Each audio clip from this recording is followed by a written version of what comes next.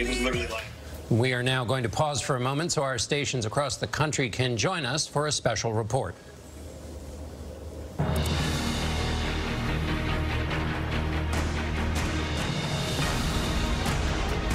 This is a CBS News special report. I'm John Dickerson with Alex Wagner and Bianna Golodryga in New York. President Trump and British Prime Minister Theresa May are about to speak to reporters after wrapping up their meeting outside London. This follows explosive comments by President Trump about Mrs. May's leadership and Brexit policies.